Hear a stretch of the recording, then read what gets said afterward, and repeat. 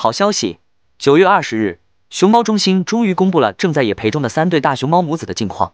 此次暴雨来势汹汹，已经导致神树坪基地连续闭园七天了。好在奶爸奶妈们风雨无阻的每天都去照顾手下的熊猫宝宝。相较于有饲养员细心照料的圈养大熊猫，那些正在野外培训的以及放归野外的大熊猫，在狂风骤雨中显得孤立无援。刘小强饲养员唯恐闲闲再如往日般饥肠辘辘的等待着他，于是雨刚停歇，他便与团队驱车赶往天台山。以核实野外培训母子们的安全状况。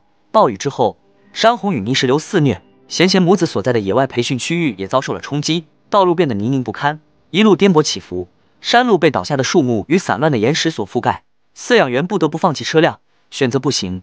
刘奶爸平日里每日都会踏足这条山路，为贤贤他们送去食物。往常这个时候，贤贤早已期盼着奶爸的到来，一旦饲养员现身，贤贤便会满怀信赖的跟随其后。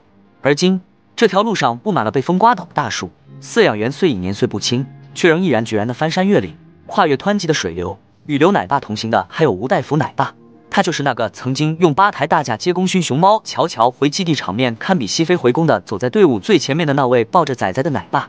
但在此刻，野外培训熊猫的安全如同一座沉重的大山压在他的心头，他无论如何也要亲自确认这些熊猫宝宝的安全无恙。幸运的是，饲养员们成功找到了野外培训的六只熊猫。风雨过后，一只小熊猫安然自得地挂在树上休憩，它的母亲则在附近守护着孩子的安全。